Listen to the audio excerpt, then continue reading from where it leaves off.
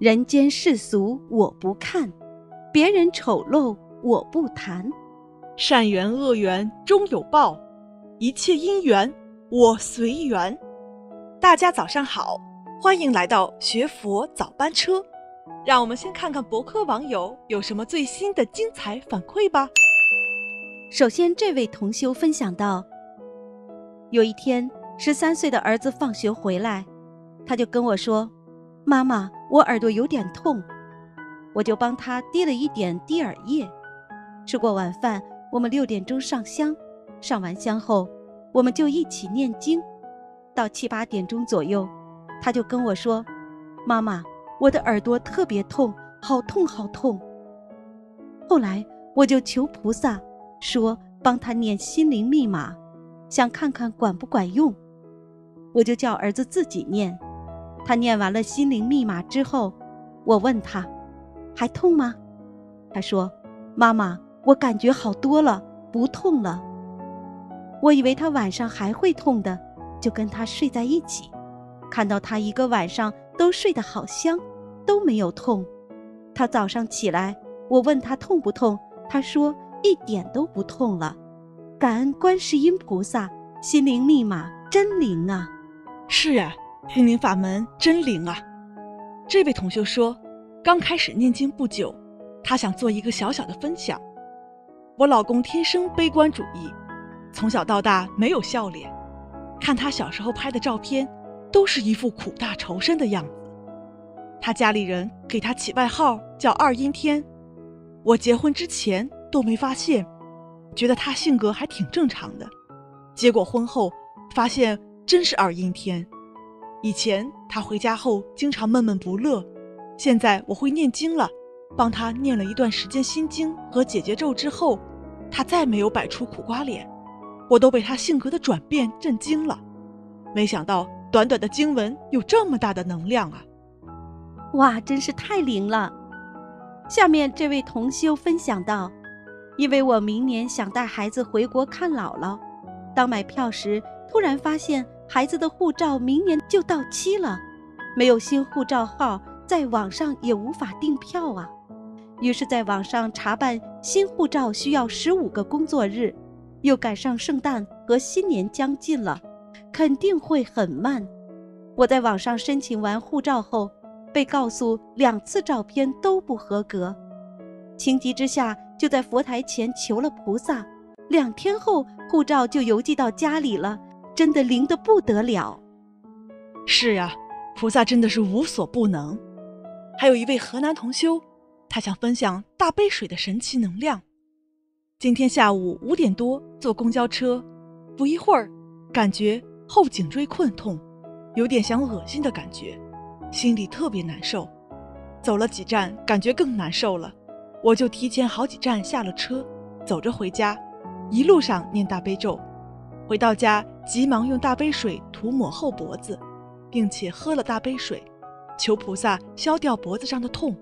并且许愿念七遍心经，结果一遍心经没有念完，就感觉轻松了很多，恶心的感觉也没有了。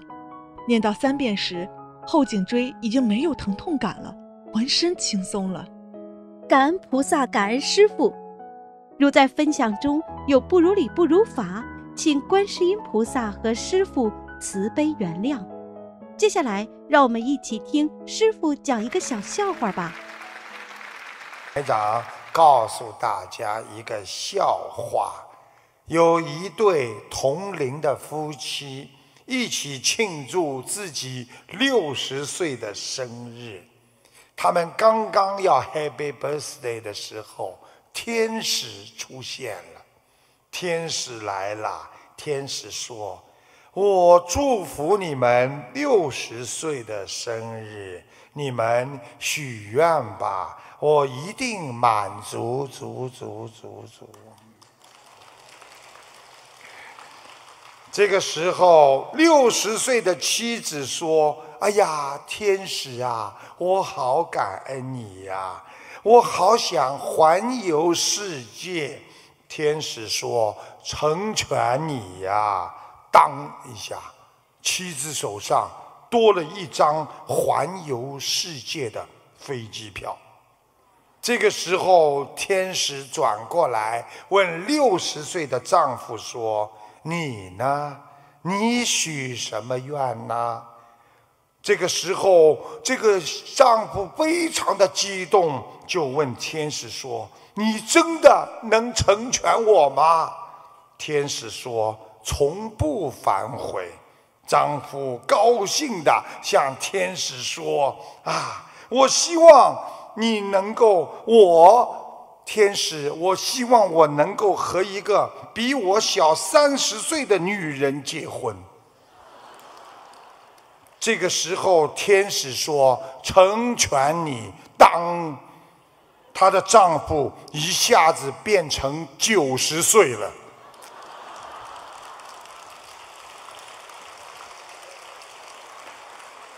这个故事告诉我们：贪心只会伤害自己。我们要让自己生命的每一天都做一个善良的自己，一个慈悲的自己，一个生命超脱凡人的自己。人间的生活一定有烦恼。